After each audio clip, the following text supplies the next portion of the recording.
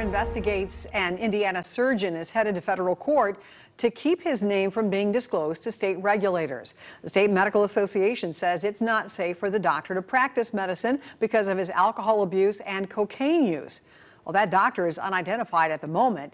CBS 4 Chief Investigator Steve Brown joins us now from the newsroom with more on this. Steve. Hi there, Deb. We originally brought you this story last month. Tonight, for the first time, we're hearing from Dr. John Doe through his attorneys. Now, this is a heavily redacted filing. In it is Dr. Doe's argument against having his name disclosed to state regulators who would then investigate him. Doe claims in the filing the State Medical Association was overzealous and unreasonable when it coerced Doe into a drug evaluation where he allegedly tested positive for cocaine and alcohol use. Doe's attorneys dismissed the evaluation, calling it flawed, inaccurate, and unreliable.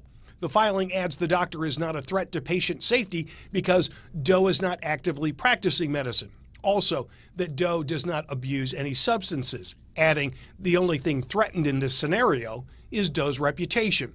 The filing also reveals this much about the anonymous surgeon.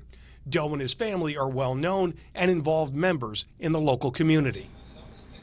Now, under federal law, the identity of anyone who's been drug tested or been through drug treatment is protected. That's why the State Medical Association is headed to federal court on March 1st. The association needs a judge's order to reveal Dr. Doe's identity to the state attorney general and the Indiana State Licensing Agency. We will keep you posted on this story.